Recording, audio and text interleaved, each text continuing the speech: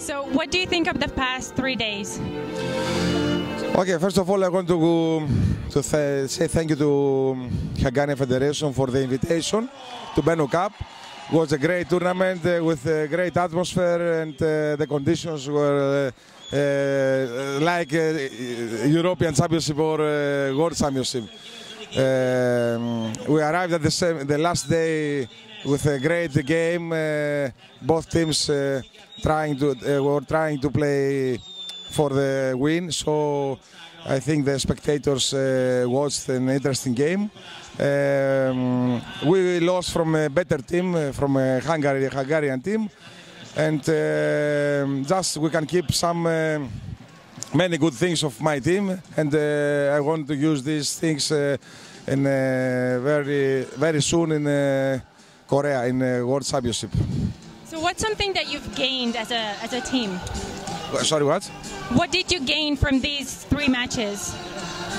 Uh, you know, uh, sometimes if the game is uh, seems uh, easy, um, I uh, receive from my players that they would not concentrate. But uh, today, that uh, we knew that uh, the opponent is really strong team. We were concentrated. We started as we want, and we follow the rhythm and the score, and we wanted to win. So we had different games, and we need. Uh, to be ready, we need different uh, situation and different games.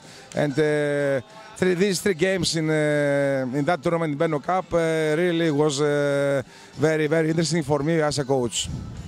I'm pretty sure that you had a, a tight schedule, but did you have time sightseeing or anything? No, I didn't have time. Really, the schedule was very tight, and you know, we have uh, our mind in a few days for the World Championship, and uh, we are uh, in a really tight program with preparation, trainings, games. So, but uh, we've been many times in uh, Budapest, so um, we know. Still, do you have any favorite places to go or somewhere you want to go back to? You mean for Budapest or uh, okay? Budapest always a great destination, not only for a tournament or for a game, just uh, to visit and to have uh, you know two three days holidays. Uh, anytime we came in Budapest, uh, we enjoy uh, Margaret Island or we enjoy the, uh, to play here because the people really love water polo and the atmosphere is always is great.